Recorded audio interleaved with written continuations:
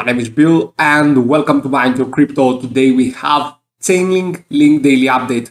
We are going to see the exact targets. Before we continue, do not forget to join our monthly subscription. Patreon slash Mind Your Crypto, 7 days free trial on professional, on everyday trading scalping strategy. Thank you for watching. Have a fantastic day. Let's start. So right here you can see that Chainlink had the crash that we were talking about for so long, right? You can see that eventually it couldn't hold the support level. We found double retest on the 6 USDT in the daily frame and this was one of the reasons that Chainlink had a minus 17% to 18% crash. Starting from this top to this bottom, it was actually more than 20%, right? Look at that, almost reaching the first support level that we were talking about, a reaccumulation phase. Now, I'm not, I will be completely honest with you, I'm not so optimistic about Chainlink. And to be honest with you, I really think that Chainlink will have a hard time making higher lows right now.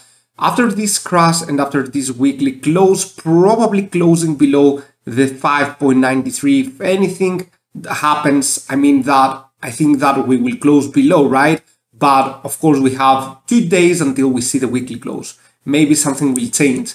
But apart from that, you can see 4.616 is the support level that I think Chainlink will revisit, maybe buying pressure from there. And as you all know, I think that Chainlink will be going down from 3.68 even further down, right? So you will see that. Have this video saved. I told you multiple times have the videos that we were talking about Chainlink saved because it is going to happen. It is going to happen that we cross more than 20%. I told you that in these days, right? Where we were all in these days, I've told you that we have a bearish pennant here, a weekly bearish pennant. We are going to hugely crash. Now, this wasn't the case only with Chainlink. Many, many altcoins crashed as well. Ethereum more than minus 6%, the graph more than minus 10, Bitcoin more than minus 3%. But Bitcoin was actually uh, one of the coins, the king as we call it, that didn't go as much down as the altcoins, right? You can see only minus 2.42. This shouldn't bring such despair in the market. But yeah, Link crashed down. It was its time to crash.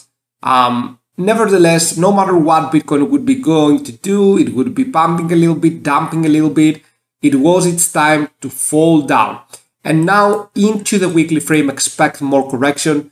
In the lower time frames, there is a good possibility that we see something like a pump towards maybe the 5.31, right? And then dump, okay, maybe we are going to go to the 5.31 right here, maybe a little bit further higher. But however the case right now with Chainlink, is we are going to see a momentum of lower lows and lower highs in the weekly scale. That means that we are going to go down to the 4.61, maybe even further down into the next few weeks. You can see how quickly things can turn bad into the crypto market.